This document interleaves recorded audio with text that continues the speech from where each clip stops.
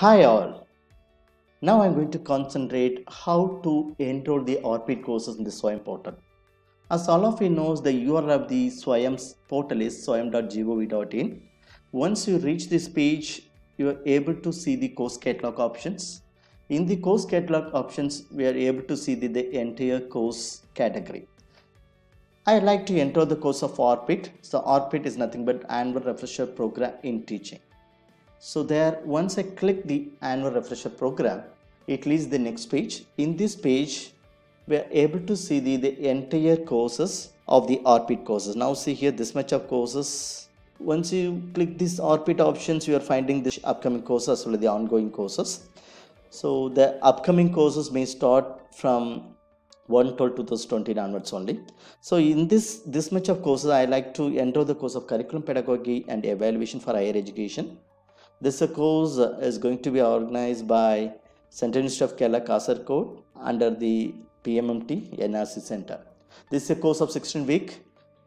The course may start on 1 12 2020. The enrollment ends on 10 December 2020. The examination date 30th April 2021.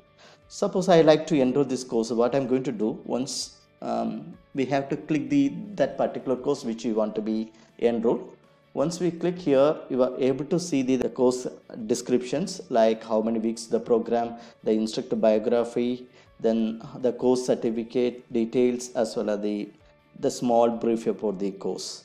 And in the right side, you are able to see the promo video of the particular course. Now I like to join. So you may find out the options in down the, the promo video joined options. Once click the joined option, it has the login credential. There I am already having the account of the Swayam portal therefore I am clicking the Google. So I am going to use my credential of my Swayam portal login. Once I use my Swayam portal login it lists the page. So now see here automatically it goes to my my profile in the my profile I already keep some kind of small profile I already keep it there that's why you're able to see this much of things so suppose you want to edit, you can do edit option. Click the edit option, you can do editing. Then kindly check Tiago mobile number, everything you can check the email address. Then whichever thing you want, you can modify. Then finally the employment names you can give. You can accept these two things. Then finally go click the review and join course. Once you click review and join course, it leads the, the course page. It leads the course page of the particular course. It means that your enrollment process to be over. So after finishing the enrollment process you are able to see the this much of options announcement about the course of in progress mentor. So this is the way you have to enroll the courses. I hope this videos may be very useful for you. Thank you all. Bye